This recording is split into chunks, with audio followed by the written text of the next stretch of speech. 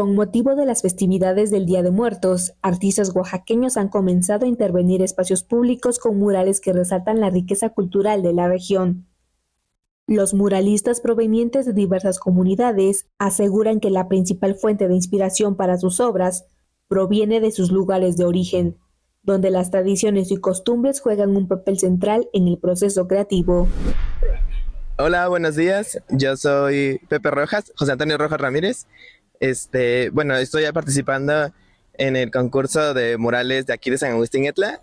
Eh, yo me inspiré en mi pueblo, yo soy de Miahuatán de Porfirio Díaz. Eh, ahí tenemos como esa tradición de reunirnos en familia para hacer eh, los preparativos para la ofrenda. Entonces, pues yo me basé principalmente en eso, en, en toda la unión familiar y el proceso de la ofrenda. Entonces, en mi mural quise plasmar como, pues a las mujeres eh, preparando la masa para los tamales, ahí eh, una señora desplumando el gallo, gallina, y este y pues yo considero que es muy importante como plasmar nuestras tradiciones, pues para sentirnos identificados con algo, ¿no? Además de que embellecemos pues las calles.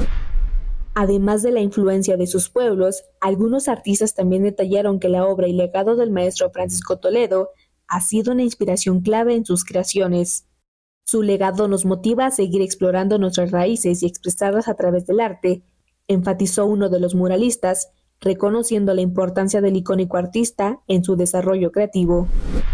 Hola, soy Iván Intacto, estamos aquí con el maestro Soken, estamos haciendo un mural aquí en San Agustín y la fuente de la inspiración que tenemos para esto, pues partió del maestro Toledo, ¿no? Ya que es un personaje bastante icónico, tanto oaxaqueño como mexicano, y sobre todo aquí que es este, que estamos en San Agustín, donde está el Centro de las Artes, y pues le estamos haciendo un tributo a él, dado que para nosotros el maestro no está muerto, ¿no?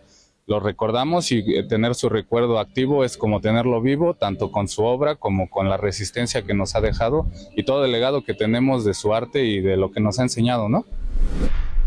Por otra parte, los muralistas subrayaron la relevancia de contar con espacios públicos habilitados para exponer tu trabajo. Señalaron que los espacios públicos son esenciales para que puedan compartir sus visiones y que las tradiciones no solo se vivan en los hogares, sino también en las calles.